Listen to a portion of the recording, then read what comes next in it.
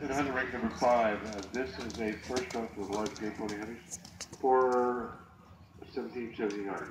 This is Glenmore Diamond Jim with Abigail Britton.